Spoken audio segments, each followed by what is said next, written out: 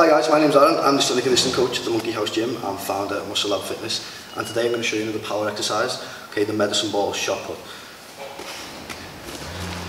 So you want to get a ball, it's reasonably heavy, but one that's not too springy, okay, because you want to watch it doesn't bounce back and hit you in the face, which I've seen before. Okay, so that neutral spine position, again, feet shoulder width apart. We're going to hold the ball, well depending on what side we're standing on, uh, this side's the right hand, left hand on uh, the other side. Okay, what we're going to do is burst and turn the hips, releasing the ball this way.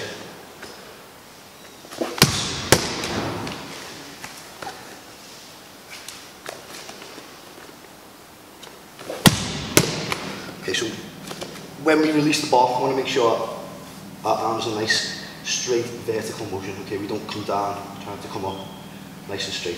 What we're doing is we're not so much throwing the ball, but pushing it. I'll show you one more time.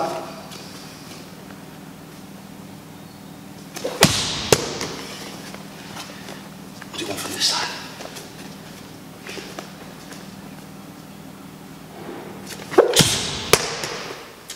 Okay guys, I uh, hope that helps. Um, th uh, thanks for watching. Please like, share and subscribe.